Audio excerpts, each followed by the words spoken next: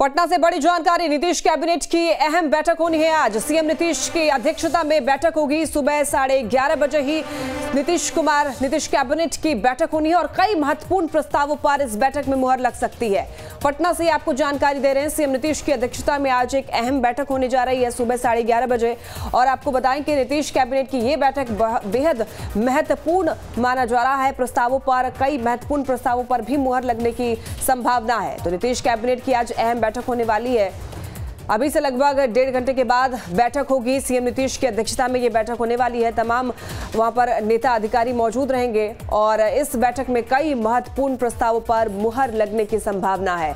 तो पटना से ये जानकारी आपको दे रहे हैं। सीएम नीतीश कुमार आज अहम बैठक करने जा रहे हैं। ज़्यादा जानकारी के लिए हमारे सहयोगी आदित्य झा हमारे साथ जुड़ गए हैं।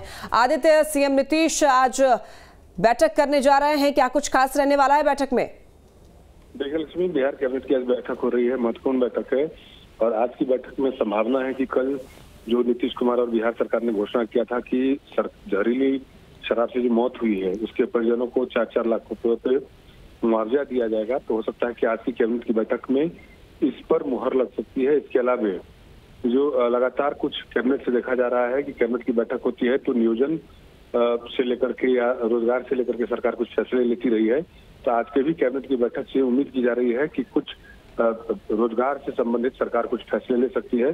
जैसे फिर लगातार कुछ दिनों से शिक्षा मंत्री भी बोलते रहे हैं कि शिक्षा विभाग में जो रिक्तियाँ हैं उसको जल्द भरा जाएगा, लेकिन जो नया पैटर्न लाया गया है, जो नई व्यवस्था की गई है बीपीएससी के थ्रू तो इस कैबिनेट में तो उम्मीद नहीं लग रही है, लेकिन उम्मीद यह है कि एक तो रोज़गार को लेकर के सरकार कुछ फैसला ले सकती है और सबसे महत्वपूर्ण ये हो सकती है कि कल जो बिहार सरकार ने घोषणा की थी कि चार चार लाख रुपए जहरीली शराब से हुई मौत के परिजनों को मुआवजा दिया जाएगा उस पर बिहार सरकार की तरफ़ से आज कैबिनेट में मुहर आदित्य इस बैठक में कौन कौन शामिल होने वाले हैं?